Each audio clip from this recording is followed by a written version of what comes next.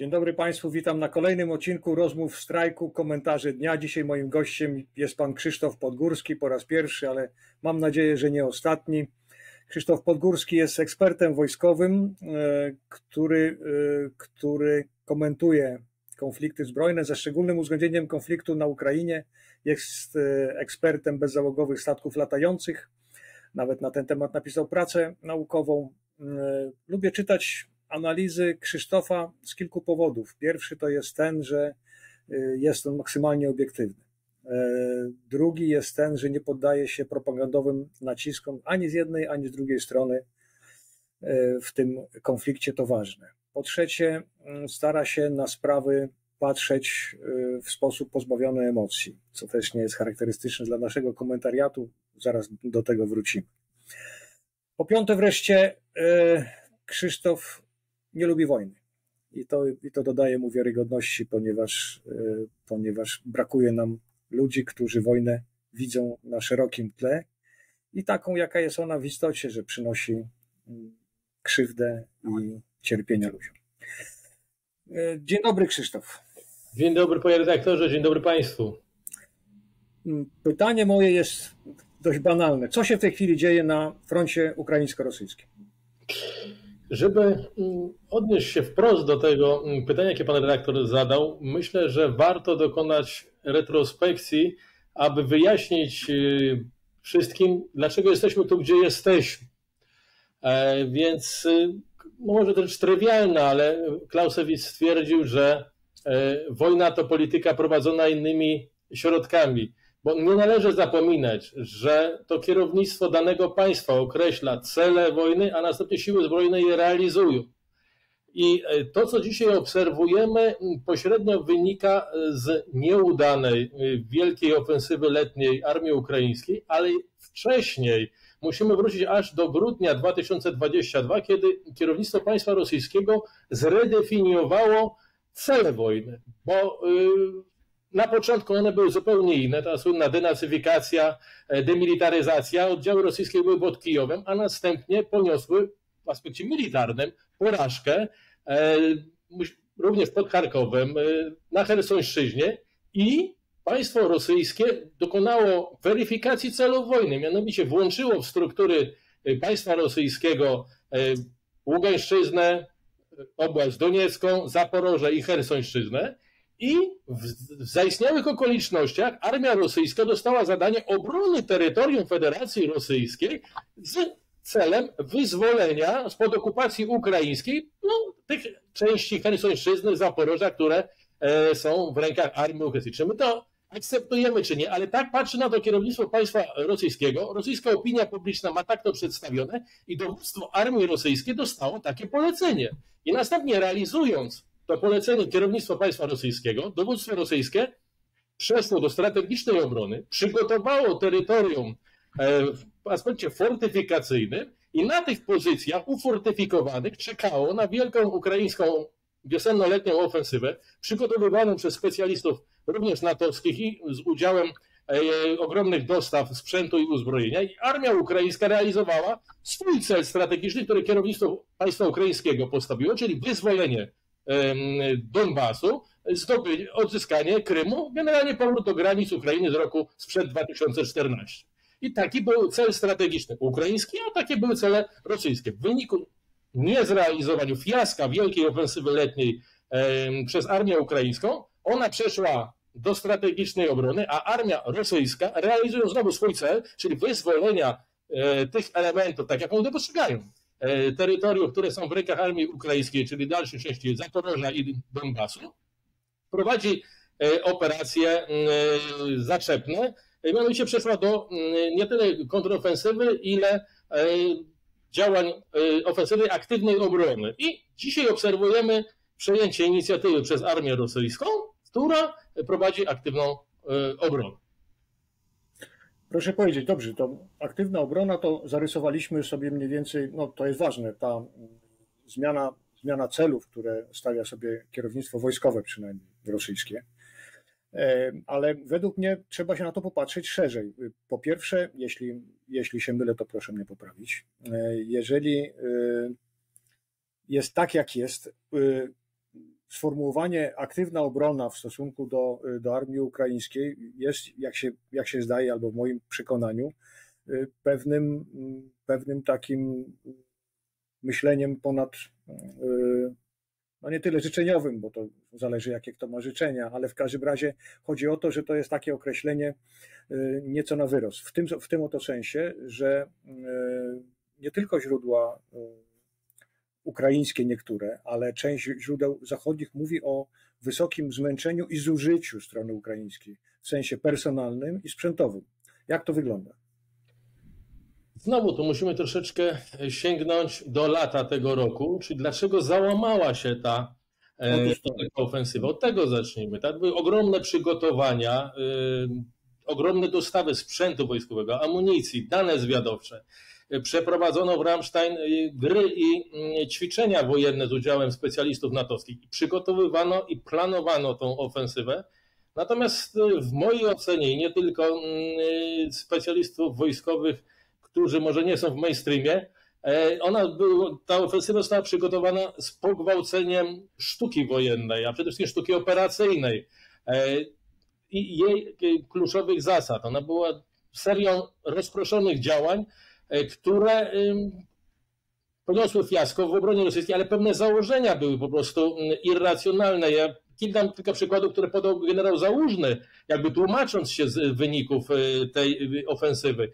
E, to przede wszystkim no, wysoko postawiono na digitalizację, czyli e, przeprowadzono, mm, czy Stany Zjednoczone udostępniły specjalne oprogramowanie, takie gry wojenne, że dokonano symulacji i wynikało, że armia rosyjska przy określonych okolicznościach się cofnie. kilka przykładów, tak, że na przykład zakładano, że jeżeli żołnierze rosyjscy zobaczą nacierające mm, amerykańskie bojowe wozy piechoty Bradley, zobaczą leopardy, to tych obiektów zaczną się cofać. I jeden przykład, taki epizod, bodajże to chyba 6 czerwca, na początku tej ofensywy e, miało miejsce takie zdarzenie, gdzie armia ukraińska osiągnęła przewagę, dokonała rozminowania e, przejść w polach minowych ogromnych i kolumna e, licząca 9, 9 pojazdów zaatakowała Rosjan i po drugiej stronie był do dyspozycji tylko jeden uszkodzony czołg jeden uszkodzony czołg, z czego e, kierowca został ranny, więc dowódca jego czołgu został, e, zajął jego miejsce, dowódca plutonu wsiadł w miejsce dowódcy. I taka trzyosobowa zbiorcza załoga, zresztą e, ludzi, którzy pochodzili z mobilizacji, skierowała się na pierwszą linię frontu. I w toku ciężkie, ciężkiego boju, niesamowitej waleczności załogi rosyjskiej, proszę sobie wyobrazić, te osiem pojazdów y, ukraińskich zostało rozbitych, czyli dwa czołgi zostały rozbite, następnie osiem amerykańskich MX MRAP-ów zostało rozbitych i Rosjanie to powstrzymali. E, oczywiście rosyjska propaganda to wykorzystała i proszę sobie wyobrazić, e, tą wielonarodowość tej Federacji Rosyjskiej było widać już z. Mianowicie dowódcą był Rosjanin, dowódca plutonu, typowy, e, jakbyśmy go wyjęli wręcz z ikon e, tołstojowskich powieści, z wielką brodą, taki kozak, prawda, e, Aleksiej Nowakow. Ten dynamicznie jeżdżący kierowca, jak kawalerzysta, który tym pojazdem wirtuozersko kierował, z pochodzenia Baksikow. To był Tatar. No kunnica, prawda, kawalerzysta. A kto był celowniczym? No, fenomenalne oko celowniczego czołgu, który po prostu y, y, trafiał y, w dziesiątkę. No to był znowu z dalekiej Syberii, prawda, Naumow, no jak wręcz z, z, z serialu, to nie serialu, przepraszam, filmu Akira Kurosawy, tak, Dersu Urzawa, Jakut, po prostu Jakut z północnej Syberii widzieliśmy tą wielonarodową załogę czołgów wielonarodowej Rosji, ale ich talenty wykorzystane w machinę e, wojennej rosyjskiej, no której no, nie zdigitalizowano. No, Amerykanie prawda, przewidywali, no przy takim układzie ten rosyjski czołg, ta załoga się wycofał. No nikt się nie wycofał, powstrzymali, zatrzymali. E, czy na przykład prze, prze, prze, zakładano, że na polu minowym staną, no, że należy je objechać. No ale rosyjskie pole się nigdzie nie kończyło, więc nigdzie nie można było tego objechać. Ja rozumiem, ale czy to oznacza, że, e, że, że mówiąc wprost, czynnik e, psychologiczny armii rosyjskiej e, przełamał ten stereotyp, że, że nowoczesne i zdigitalizowane środki prowadzenia walki właśnie będą na tyle przekonujące, powiedziałbym, w tym sensie, że właśnie Rosjanie się cofną. Czy to jest to, o czym, o czym mówi część obserwatorów, że kwestia, mm, kwestia właśnie emocjonalnego podejścia, psychologicznego przygotowania wojsk rosyjskich ma tutaj dość dużą rolę. Odgrywa. Na, na pewno tak. Aspekt psychologiczny, nieustępliwość żołnierza rosyjskiego, no to trzeba sięgnąć do kultury rosyjskiej, tego nawet filmoteki współczesne, jak ten młody e, Rosjanin jest wychowywany, w jakim kulcie właśnie wokół z bohaterów Wielkiej Wojny Ojczyźnianej, czyli jak to oni określają II wojny światowej, e, nieustępliwości e, żołnierskiej, poświęcenia żołnierskiego, ale również po stronie ukraińskiej i natowskiej doszło do lekceważenia rosyjskich środków walki, jak i nauki rosyjskiej. E, Rosjanie wyśmienicie przygotowali się do obrony, ufortyfikowali e, zgodnie ze sztuką wojenną. U nich nauka wojenna jest bardzo rozwinięta. E, przygotowano pozycje, wybudowano bunkry, stworzono strefę śmierci, ale również wykorzystano do maksimum przewagę ich uzbrojenia. Na przykład taki epizod, no zakładali planiści natosy, że jeżeli idą do pierwszej, do pól minowych podejdą, osłonią je przenośnymi zestawami przeciwlotniczymi o zasięgu mniej więcej 5-6 km, to się rosyjskie śmigłowce nie zbliżą, bo ich rakiety przeciwpancerne mają, ataka mają e, zasięg 5 km. No niestety Rosjanie przysłali śmigłowce K-52 z rakietami Sztorm o zasięgu 9 km. Stąd też te pojazdy wyspecjalizowane do rozminowywania zostały z te śmigłowce rozbite. E, I, już przez minowe nie przeszli. Więc mamy lekceważenie e, strony rosyjskiej również w aspekcie technicznym e, i przygotowania wojskowego. I to się zemściło, bo przeciwnika nie wolno lekceważyć. A proszę powiedzieć, mm, skoro właśnie jesteśmy przy, przy tym, że przeciwnika nie wolno lekceważyć, skąd się wzięły mm, początkowe porażki armii rosyjskiej właśnie pod Kijowem, właśnie pod Charkowem i to, co, to, co Ukraińcy przekazywali jako, swoją, jako swoje wielkie zwycięstwo.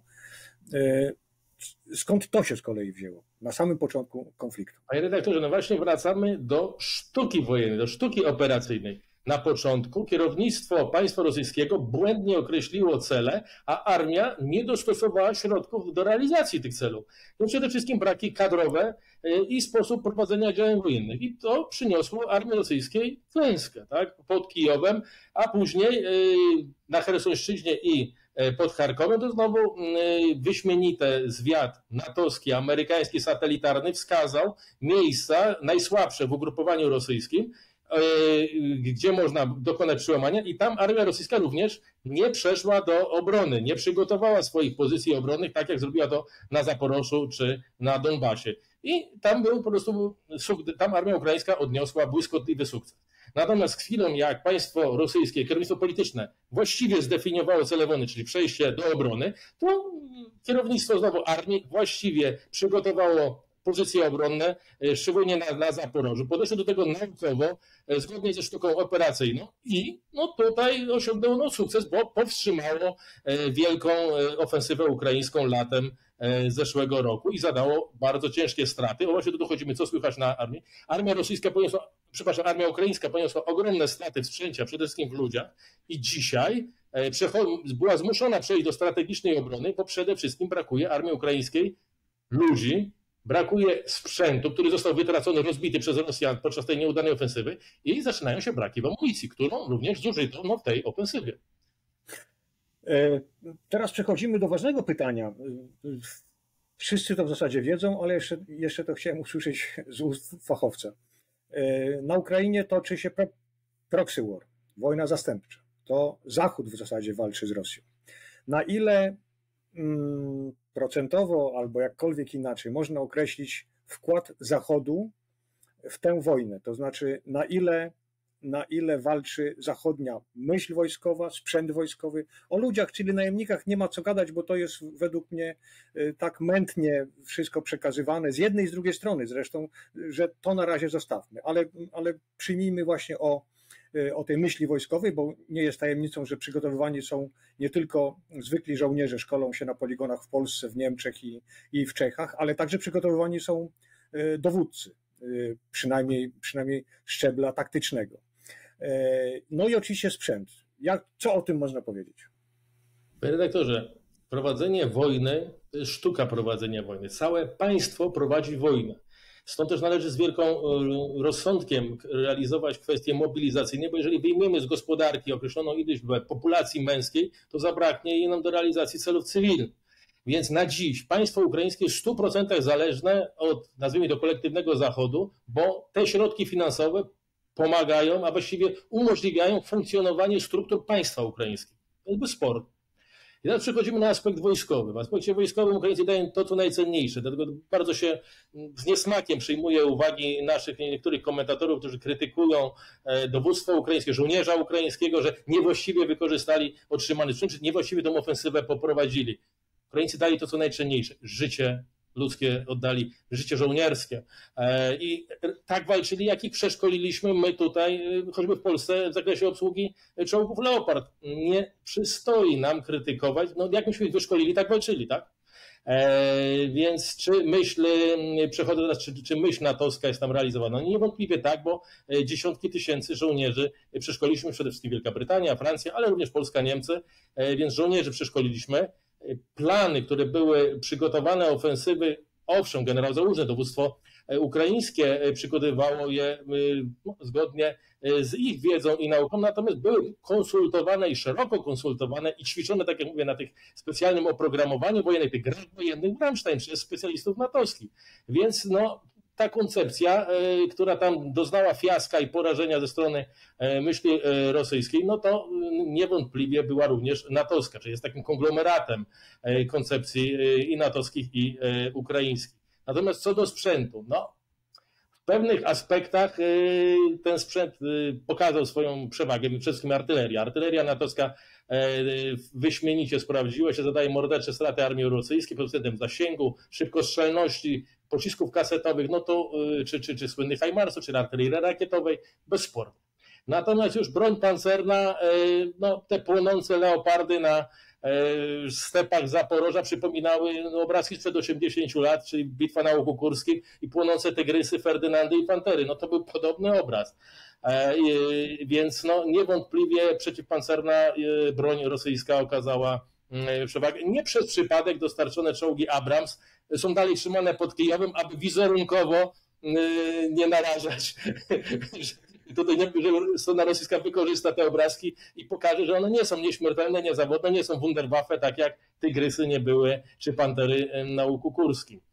Więc niewątpliwie strona ukraińska znowu na pewno zawiodła się na tym sprzęcie, przeceniano jego możliwości. One no, z drugiej strony nie zostały maksymalnie ich możliwości techniczne wykorzystane, bo te załogi ukraińskie pospiesznie szkolono, więc być może e, by załogi, nie wiem, polskie czy niemieckie e, walczyłyby e, korzystnie. Natomiast no, pewne parametry się nie zmieniają.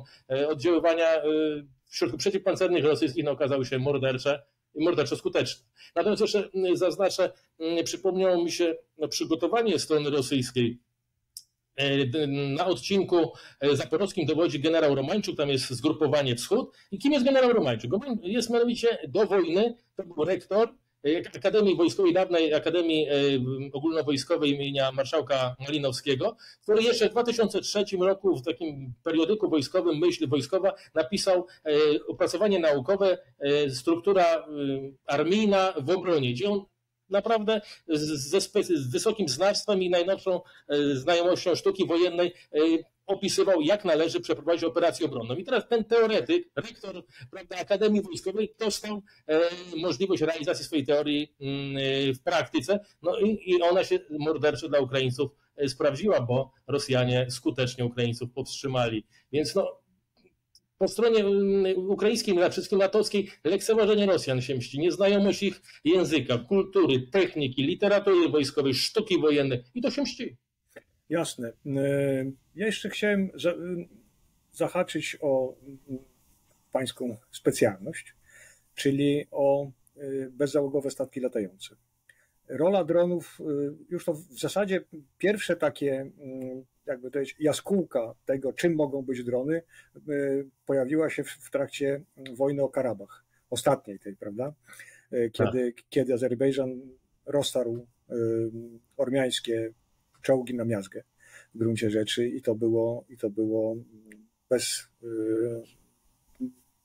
da się bez wykorzystywania ludzkich zasobów, tylko właśnie przy pomocy dronów.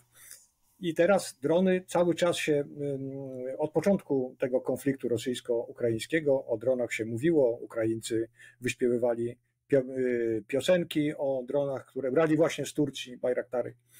To, to jest ten sam dron, na którego pieniądze zbierał Sławomir Sierakowski.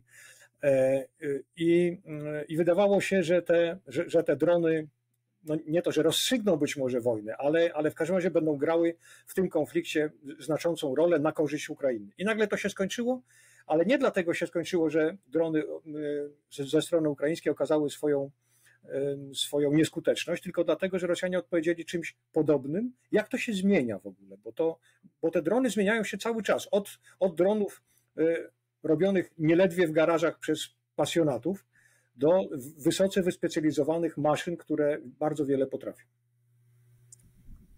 Sformułowanie dron czy bezzałogowy statek latający, jak literatura fachowa o tym mówi, e, to jest szerokie spektrum, bo to jest od molochów o długości, nie wiem, 20 metrów, 19 metrów w szerokości, o zasięgu 40 tysięcy kilometrów, Global Hawk, prawda, amerykańskich, e, wykorzystywanych zresztą przez Amerykanów, one bardzo często patrolują Morze Czarne, przez y, drony klasy Male, czyli te mm, Bayraktar, takie mini samolociki, które pamiętamy w pierwszym okresie wojny, y, osiągały szereg sukcesów, no ale osiągały na skutek no, takiego bałaganu, bardaku rosyjskiego, bo z chwilą jak Rosjanie rozwinęli swoje systemy obrony przeciwlotniczej, które mieli e, systemy Bóg, Panzer, y, to powstał wielowarstwowy parasol przeciwlotniczy i no, czy pan redaktor na przestrzeni ostatnich półtora roku słyszał coś o Bayraktarze? No nie ma. No się no Rosjanie nawet nie zdziesiątkowali, no 80% zestrzelili. Nie ma ich. One dzisiaj są wykorzystywane tylko do celów obserwacyjnych. Mają wyśmienite e, tureckie kamery o zasięgu 50 km i służą do koordynowania ognia artylerii, ale też mocno ograniczonym zdrowiem. Natomiast Dzisiaj pole walki jest dosłownie jak muchami zasłane e, dronami FPV. To są takie małe z ręki startujące e, droniki, do których e, metodą chałupniczą, półprzemysłową jedna i druga strona dołącza granaty z granatników przeciwpancernych RPG-7 i wręcz na, już na pojedynczych żołnierzy polują ci droniarze po jednej i drugiej stronie. To, to się permanentnie unosi, więc uderzają w czołgi, ciężarówki, paraliżują transport. Te wartościowe elementy sprzętu są y, paraliżowane. No, i, i, I, dzisiaj jedna i druga strona dysponują ogromnymi zasobami i tymi dronami, y, tą taką mobilną artylerią, mini artylerią e, dziesiątkują przeciwnika. E, no, strona rosyjska po prostu nadrobiła braki, w niczym nie ustępuje, na niektórych odcinkach ma przewagę, na niektórych ukraińska. No i to, to, to tym, tymi dronami się na FPV rozbijają. Natomiast no, jest całe spektrum dronów obserwacyjnych, które przywróciły sytuację z I wojny światowej, gdzie wojną, Bóg wojny, artyleria, tak? Artyleria uzyskała oczy, w cudzysłowie, które pozwalają e, ustalać cele w odległości 70 km, 60 i w czasie rzeczywistym podawać dane do stanowisk ogniowych i razić przeciwnika. No to okazało się znowu mordercza rola artylerii, e, ale no dzięki dronom, które pozwalają mm, obserwatorium artyleryjskim e, precyzyjnie korygować ogień na no, dalekich odległościach. I tu znowu pojawia się dron jako odpowiedź. Rosjanie, mm, e, no, ich myśl techniczna, konstrukcyjna bardzo e, odstaje w aspekcie konstrukcji artylerii, chodzi o zasięg. Strona ukraińska dostała wyśmienite zachodnie działa, w tym nasze, KRAP 152 mm AHS, które mają zasięg ognia na poziomie no, 50-60 km i artyleria rosyjska standardowo MSTA-S ma zasięg 29 km, więc no, byli Ukraińcy spoza zasięgu. No natomiast przemysł, zresztą nomen, nomen prywatny, e, konstruktorzy opracowali fenomenalne drony Lancet 3M, które mają zasięg do 70 km. To się okazała mordercza broń przeciwko e, artylerii ukraińskiej. Na, swoim koncie operatorzy tych dronów mają przeszło setkę na przykład amerykańskich e, haubic M555 więc y, no, te drony znowu sprawiły, jakby ochroniły rosyjską artylerią i popchnęły znowu Ukraińców poza zasięg y, tych dronów. Więc te drony ciągle, y, skrót pewien myślowy, tak, ale te bezzałogowe statki latające ewoluują, dzielą się na różne podsystemy i mają ogromny wpływ, ogromny wpływ na pola walki tej nieszczęsnej wojny rosyjsko-ukraińskiej. Przejdę do pytania w zasadzie głównego, które, które chyba mm, najbardziej interesuje naszych widzów i w ogóle ludzi najbardziej. Kiedy to się skończy, jak pan to, jak pan to ocenia, jeżeli to w ogóle jest możliwe do w miarę precyzyjnego określenia? Panie redaktorze, nie chciałbym wchodzić w obszary polityczne, natomiast tak patrząc w aspekcie wojskowym, ale to no, powiązanym e, z decyzjami, które otrzymują wojskowi jedni i drudzy, e, więc żadna ze stron na dzisiaj nie może się wycofać ze względu na, no mówiąc wprost, kampanię wyborczą, ale może jeszcze sprecyzuję. Po stronie e, ukraińskiej, no, to jest, owszem, walczą żołnierze ukraińscy, oddają to, co najcenniejsze, żołnierskie życie. Natomiast no, wojna jest realizowana ze środków, z ogromnym udziałem e, sprzętu e, i rozpoznania, i również decyzje polityczne zapadają w Waszyngtonie. A w Waszyngtonie wybory mamy jesienią przyszłego roku. Do wyborów prezydenckich prezydent Biden jako przywódca no, liberalnych krajów, takiego wolnego świata, e, tej krucjaty antyrosyjskiej, no nie może zawrzeć e, rozejmu, no bo każdy rodzaj zostanie oskarżony, że jest kompromisem, że nie wygrał. Więc jako przywódca tego świata musi być zwycięzcą. Więc nie, e, nie będąc, nie ma na to się nie zanosi na frontach wojny na Ukrainie, więc no, strona amerykańska nie jest skłonna do tego. A strona rosyjska ma jeszcze szybciej wybory, będzie w marcu.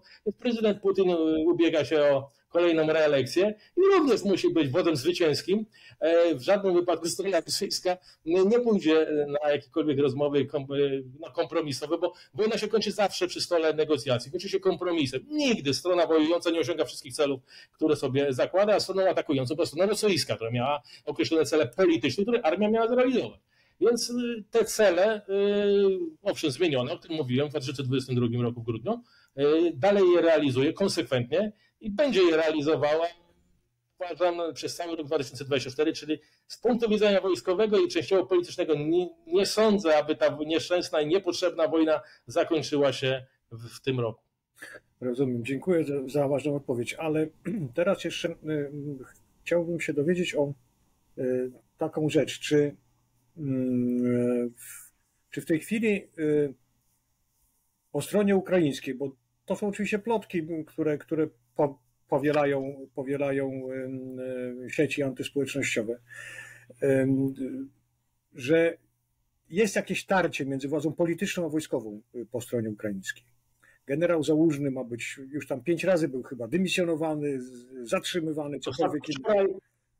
Tak jest, więc właśnie jak to wygląda? Albo jeżeli, jeżeli wiedzy nam nie starcza na ten temat w miarę potwierdzonej, to, y, to czy y, jak to może być?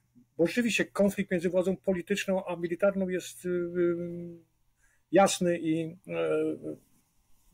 prosty do zauważenia. Panie redaktorze, zgodnie ze sztuką wojenną, cele polityczne stawiane armii powinny być możliwe przez nią do realizacji a cele polityczne, które stawia ekipa z bankowej, czyli ekipa prezydenta Załużnego. E, prezydenta Zełenskiego, przepraszam. Odzyskanie Krymu, odzyskanie w ogóle e, terenów w granicach sprzed 2014 roku jest nierealne. Czyli e, armia uzyska, dostała do realizacji cel polityczny, który jest niewykonalny. On jest niewykonalny. Więc nie dziwi, że generał Załużny, cieszący się wielkim autorytetem wśród ukraińskich i dowódców, i żołnierzy. E, no, to jest oficer, który przeszedł przez Akademię w Moskwie, e, znający Rosjan, znający sztukę rosyjską wojenną, możliwości, e, które armia rosyjska ma, racjonalnie postrzega możliwości na froncie. I domniemuje, że dochodzi właśnie do tarć na linii między powiedzmy, dowództwem, sztabem generalnym i generałem załużnym, a kierownictwem państwa ukraińskiego skupionym wokół prezydenta, ośrodka prezydenckiego, E, aby wypośrodkować e, te cele stawione dla gdyż no, tak nierealistyczne cele prowadzą do wykrwawiania się armii ukraińskiej i załamania się linii frontu, a więc e, utraty możliwości prowadzenia działań bojowych. I, i, I to prawdopodobnie na tej osi idą tarcia, bo prezydent Zeleński, jego deklaracje i, jego współpracowników, no wydaje się, że są w pewnym, jak mówi młodzież dzisiaj, są odklejeni tak, od rzeczywistości e, i e, no naprawdę no, nierealistyczne cele stawiają armii i jakby no, prezydent Zeleński nie rozumie, że te realia się zmieniają, one się zmieniają w czasie, się zmieniają na niekorzyść dla niego. Armia e, rosyjska, państwo rosyjskie przeszło na tory gospodarki wojennej. E, armia rosyjska stale zwiększa swój potencjał, w tym również sprzętowy, on narasta, e, więc armia ukraińska stawia się w coraz no, trudniejszym położeniu, więc te negocjacje w interesie ukraińskim są, by rozpocząć je na, na lepszych warunkach niż później po sukcesach armii rosyjskiej. Jeszcze ostatnie pytanie, bo ono mnie nurtuje od dawna. E, czytając polskich, przepraszam za wyrażenie, ekspertów wojskowych e, i czytając doniesienia polskich mediów, no człowiek przeciętnie mający maturę, przeciętnie wykształcony, e, już po pierwszych trzech zdaniach widzi, że to się nie trzyma kupy, po prostu. To jest, to jest pomieszanie fake newsów z myśleniem życzeniowym i i z opowiedzeniem się tylko za jedną ze, ze stron. To oczywiście wolno się opowiedzieć za jedną ze stron, tylko nie należy tracić, wydaje się, obiektywnego obrazu tego konfliktu. Jaka jest według Pańskiej opinii, skąd to się bierze? Skąd, bo to pod tymi głupimi tekstami są podpisani ludzie. No, ktoś za jakiś czas przyjdzie, to przeczyta y, i się spyta, skąd brałeś te informacje, które o których po, pierwszych, po lekturze pierwszych czterech zdań wiadomo, że są kompletnie wzięte z sufitu, żeby nie powiedzieć z jakiej części ciała. Skąd to się bierze Pana zdaniem i czemu ma służyć? Bo ja bym wolał wiedzieć coś na pewno, niż, yy, niż się wyśmiewać z tego, co kto mówi.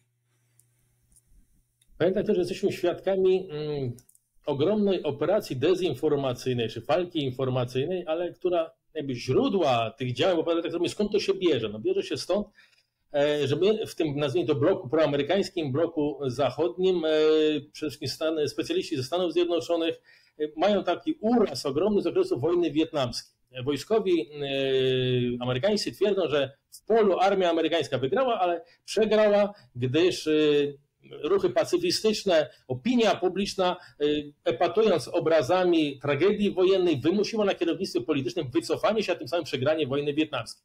I wyciągając wnioski z tego, są całe sztaby y, w wojsku, jednostki wojskowe, y, wysokiej klasy specjalistów od wizerunku, którzy budują określony obraz w założeniu korzystny dla strony wojującej. Tylko doszło już do no, kabaretowe, jak pan redaktor zauważył, e, formy tej walki, że ono już trąci grotesko. I Ukraińcy mają taki ośrodek, to jest 72. Centrum Walki Informacyjnej i Psychologicznej w Browarach, właśnie wyszkolony przez tych amerykańskich specjalistów, którzy no, tworzą te fejki, tworzą te e, korzystne dla strony ukraińskiej wizje. To jest transferowane do nas, do Polski, ale no, no na zachód. No tu nie potrafię odpowiedzieć dlaczego. One w sposób bezkrytyczny, przepisywany, powielany przez nasze media. No, mimo, że się uśmiechamy, to czytając, tak jak pan mówi, no nie trzeba być specjalistą, by wiedzieć, że to nie jest prawda. Tak jak no, babcia nie mogła ukraińska zestrzelić słoikiem drona, e, czy, czy, czy, czy no, no, no, absolutnie w drugą stronę takie no, no, jak mogą, broniąc miasta Doniecka, Rosjanie ostrzeliwać własnych e, obywateli e, ze swoich działów? No nie z tego kierunku pociski, no w ogóle no, to jest absurd. Ale no jest to bez, bezkrytycznie przepisywane. No, duch Kijowa, pilot, który 50 samolotów rosyjskich zestrzelił nad Kijowem i na poważnie my o tym mówimy, tak? Więc no, te, te, te, jesteśmy tym karmieni i o, to się bardzo zemściło na mm, duchu e, armii ukraińskiej, ale również u nas społeczne. No skoro jest tak dobrze, tak byliśmy informowani, że armia rosyjska przegrywa na każdym froncie, nie ma co jeść, drony babcie im zestrzeliwują słoikami, to zaraz będzie armia ukraińska pod Moskwą. A się okazało, wielka ofensywa zakończyła się klapą klęską. Dlaczego? Kto tu winny? No, nie wolno budować fałszu, nie wolno budować nadziei. Ar, wojna to jest jak matematyka, to bardzo precyzyjny obraz i należy opisywać rzeczywistość, bo od nich bardzo wiele zależy, więc tu w Polsce, tak jak pan redaktor słusznie zauważył, musimy wyciągać wnioski z tej wojny, mieć rzetelny obraz, aby podejmować merytorycznie racjonalne wnioski dla siebie, dla swojej armii, ale również dla naszego państwa. A jeżeli mamy fałszywy obraz w tej skali, to mamy nierealistyczne później własne decyzje, które mogą być irracjonalne e, i będziemy działać na własną szkodę, bo żyjemy w pewnej bańce informacyjnej, nierealistycznej rzeczywistości. No dobrze, ale mm, eksperci, którzy powiadają bzdury, to jest jedno ale proszę mi, proszę mi wytłumaczyć, jakim cudem generał Skrzypczak, już użyjemy nazwiska, e, e, albo generał Polko mówią rzeczy, które, za które potem powinni się wstydzić najnormalniej w świecie, bo mówią rzeczy, które się no, nie sprawdzają w ciągu najbliższych 24 godzin. Ich wszelkie, wszelkie ekspertyzy czy propozycje obracają się w niwecz, kompromitując ich jako, jako oficerów albo jednoznacznie pozycjonując ich jako, jako usłużnych propagandystów którejś ze stron. Jedna i druga możliwość jednak jest kompromitująca o ile można rzeczywiście no, z większą tolerancją podejść do laików, którzy się nagle zrobili specjalistami wojskowymi, część osób, no jakby angażując się emocjonalnie po stronie ukraińskiej, uważa, że realizuje słuszną wizję, no podnosi na duchu emigrantów ukraińskich, którzy czytają nasze źródła, dlatego pisze to, co pisze. E, no po tyle mm, takich specjalistów y, emerytowanych wojskowych tego szczebla, jak generał Skrzypczak, którzy no mówią to, co mówią, no ja usprawiedliwić nie potrafię. No, inny generał, pan generał Leon Komornicki, bardzo surowo ich określa, mówiąc, że to są dyzmowie e, polskiej sceny komentujące sprawy militarne.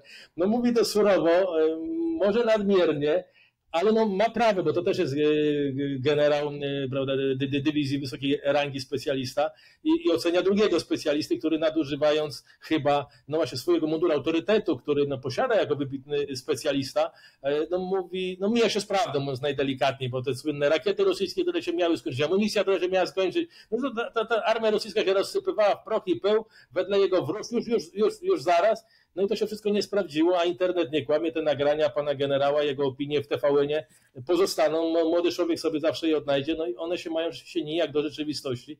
No nie potrafię tego wytłumaczyć, nie potrafię tego uzasadnić, no przyjmuję krytycznie, no, że, że tak, takowi komentatorzy są. Doskonale, dziękuję serdecznie. Mam nadzieję, że to nie jest nasze ostatnie spotkanie. Będę, będę bardzo wdzięczny za regularne spotykanie się z nami i komentowanie sytuacji na froncie, ale nie tylko, ponieważ e, kwestie wojskowo-polityczne albo wojskowe, które zahaczają o polityczne, też e, będą nas interesowały. Dziękuję Państwu za, za uwagę. Proszę pamiętać o subskrybowaniu, lajkowaniu, komentowaniu i oczywiście wspieraniu nas finansowym. Jest to nam coraz bardziej potrzebne. Dziękuję jeszcze raz Państwu, dziękuję y, Krzysztof i do zobaczenia w następnych odcinkach. Dziękuję Panie Doktorze, dziękuję Państwu, do widzenia.